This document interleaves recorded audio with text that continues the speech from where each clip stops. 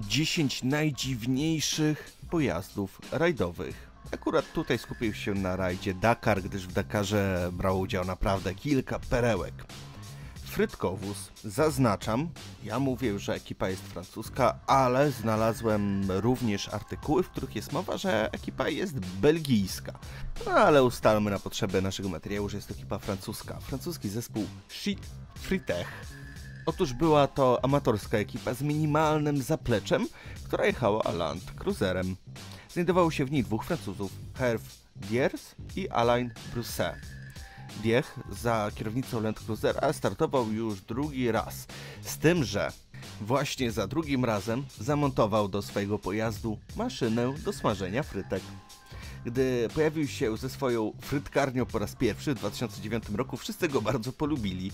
Ukończył rajd na 58 miejscu, na mecie każdego odcinka smażył dla wszystkich frytki, a jego jazda przynosiła 1 euro za każdy przejechany kilometr na cele charytatywne. Gość pojechał frytkownicą w rajdzie, w którym giną ludzie. Można? Można. Przynajmniej z głodu by nie umarł. Citroën 2CV, samochód osobowy produkowany w latach 1949-1990. Było to auto klasy popularnej, maksymalnie uproszczone, by obniżyć jego cenę, tanie w produkcji i utrzymaniu. Kierowcy i pasażerowie nie mogli liczyć na niemal żadne wyposażenie umierające podróż. Mimo tego 2CV stał się jednym z najbardziej kultowych aut na świecie, może dlatego, że był tani i ładny. I wystartował w rajdzie Dakar. Otóż miało to miejsce w 2007 roku. Mało tego, ich samochód pochodził z 1963 roku. Oczywiście przebudowali podwozie, podwyższyli zawieszenie i wzmocnili silnik do, uwaga, 100 koni mechanicznych. Niestety zespół Bibip 2 wycofał się na czwartym etapie przez awarię tylnego zawieszenia. I tak dużo przejechali. Ja takim samochodem bałbym się nad morze jechać, a co dopiero przez pustynię. Porsche 959, samochód klasy kompaktowej produkowany w latach 1986-1989. Co w nim takiego jest wyjątkowego? No, popatrzcie na niego. Czy to jest według Was samochód, który powinien startować w rajdzie pustynnym? No i okej, okay, samochód wygrał 30 tysięcy wyścigów, ale na torach w 1984 roku w rajdzie Paryż-Dakar wystartował właśnie Porsche 959 i wiecie co? Wygrał. Wynik ten zaskoczył nawet inżynierów Porsche. Normalnie nikt nie wierzył, że no, samochód da radę przejechać Saharę, a jednak dał. Niestety przez awarię auto nie dojechało do mety w następnej edycji. Niemcy oczywiście wrócili w pamiętnym morderczym roku 1986 i to jest wyjątkowe. Był to jeden z najcięższych rajdów w historii. Paryż-Dakar 86. Zapamiętajcie, wtedy to z 488 załóg rajd ukończyło tylko 67, a wśród nich na dwóch pierwszych miejscach było Porsche 959. Hules de Proto. Otóż samochód ten to tak naprawdę prototyp.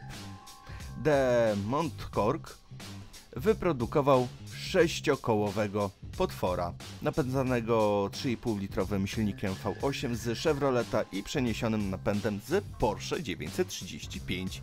Z kolei nazwa wehikułu pochodziła od Perfum Diora, głównego sponsora pustynnej eskapady. E, niestety samochód musiał się wycofać z rajdu przez awarię zawieszenia, ale zobaczcie, gość sobie zbudował samochód i nim pojechał w Dakarze. No kurde, wszystko jest możliwe. Rolls-Royce Carnage. Zaznaczam, tym samochodem również jechał de Montcork i również sam go złożył. Otóż Rolls-Royce to luksusowy samochód, w żaden sposób nie przystosowany do ciężkich warunków. No ale Demon Cork postanowił sobie go przerobić i dodać kilka małych ulepszeń. Na przykład usunął z niego minibarek, co myślę, że później żałował. Zamówił lekką karoserię i przeszczepił z Toyoty napęd na cztery koła. Niestety został zdyskwalifikowany za dokonanie niedozwolonych napraw. Fiat Campagnola jeśli ten samochód nie wydaje Wam się jakoś znajomy, to Wam podpowiem, co to jest. Otóż jest to Papamobile. To jest ten samochód, którym jeździ papież i pozdrawia ludzi z tłumu. Oczywiście pojawienie się tego samochodu na rajdzie Dakar w 1979 roku było dość zaskakujące. Wiecie co? Wystartowało siedmiu kierowców, a jeden z nich wygrał nawet jeden z etapów, a w całej imprezie zajął siódme miejsce w imprezie. Papa Mobile pokonało samochody przystosowane do rajdów. Nieźle. Renault 4, czyli Renault 4, no, spolszczę nazwę. Jest to pięciodrzwiowy hatchback bądź dwudrzwiowy furgon, zależy w jakiej wersji. Samochód wyposażono w 3 oraz 4-biegową manualną skrzynię biegów. Było to pierwsze przednionapędowe auto marki Renault. Trzy biegi, przedni napęd, no powiedzcie sami, zapowiada się nieźle. Samochód ten wziął udział w pierwszym w historii Dakarze i uwaga, zajął piąte miejsce w kwalifikacji generalnej i trzeba zaznaczyć, że wtedy nie było podziału na samochody, motocykle i ciężarówki, była jedna tabela i oni zajęli piąte miejsce. Renault. Tytan. No i to jest jedna z najciekawszych spraw w historii rajdu. Auto było spełnieniem marzeń szefa Audi, Italia, Emilio Radelliego i kierowcy Michaela Kinotto. Pojazd napędzał 3-litrowy silnik turbo zainstalowany w zawieszeniu i karoserii zbudowanej w warsztacie Piermont Empa Power. Generował 300 koni mechanicznych.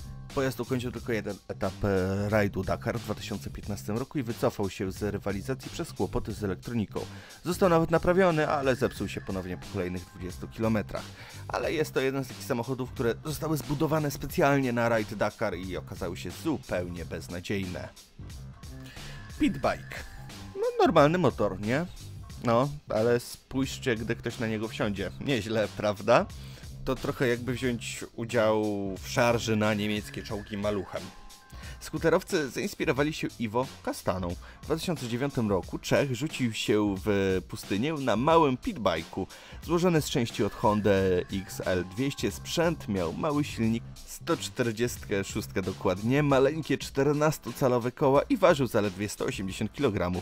Razem z kierowcą oczywiście. Kastan nie dotarł do mety, ale ukończył kilka etapów.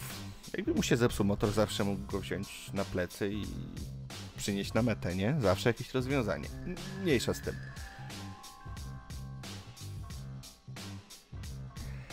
Vespa P200e.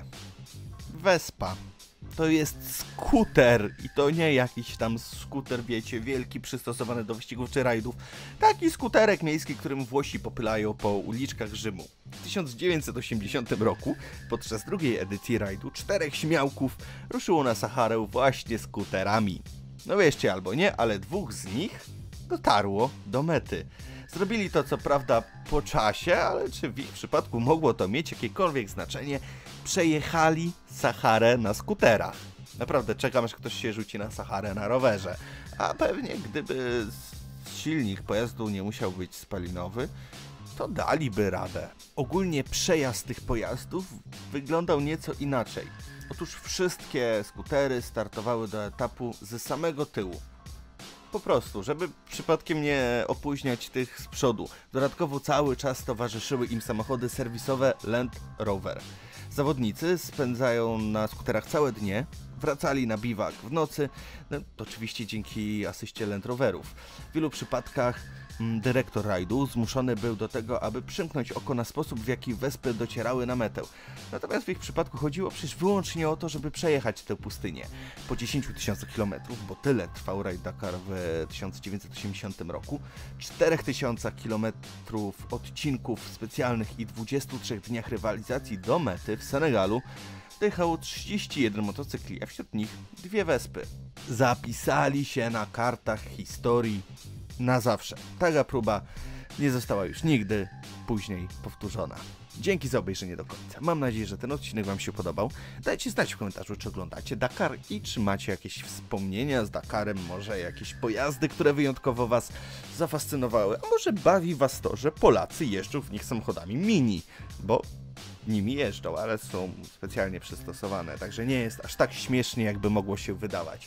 Czekam na Wasze opinie i dajcie znać w komentarzu, co o tym wszystkim myślicie. Zapraszam Was na moje dwa pozostałe kanały, a to ciekawe oraz światowa historia.